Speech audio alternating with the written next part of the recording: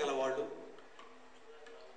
గానకళలో ఒక గ్రేడింగ్ చేరుకున్న వాళ్ళు మాత్రమే ఈ పాటల్ని పాడగలరు అన్న సంగతి మనకి అర్థమైంది. ఇంత మంచి పాటల్ని ప్రతి ఒక్కరూ పేరు పేరున అందరికీ నేను అభినందనలు తెలియజేస్తున్నాను. బేబీ చైత్ర పద్మావతి గారు అనురాధ గారు ఇలా ప్రతి ఒక్కరు. ఇక ఈ కార్యక్రమ రథసారథి శాస్త్రి గారి గురించి రెండు ముక్కలు చెప్పదలుచుకున్నాను. వీరు పాడిన పాటలు మెటలిక్ వాయిస్ వారిది. నాభి నుంచి వస్తుంది.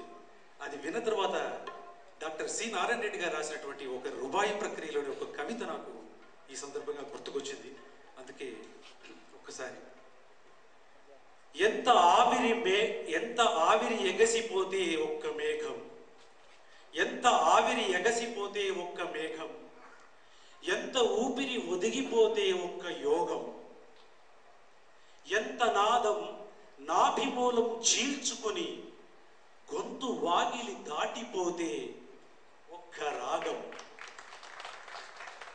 డాక్టర్ సీనారాయణ రెడ్డి గారు రాసిన ఈ మాటలు వారు ఎవరిని ఉద్దేశించి రాశారో ఇలాంటి వాళ్ళని ఉద్దేశించి రాశారని నేను అనుకుంటున్నాను.